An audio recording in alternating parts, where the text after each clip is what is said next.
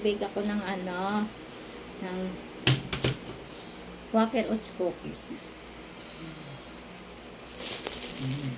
Mm.